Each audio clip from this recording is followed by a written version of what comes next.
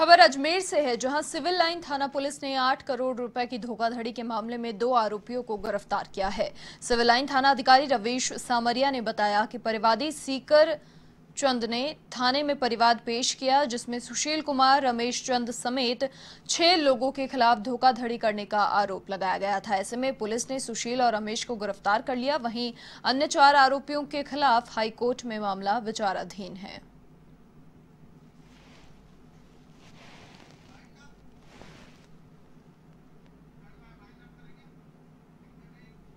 और इसी के साथ इस बुलेटिन में फ़िलहाल के लिए इतना ही। देश और दुनिया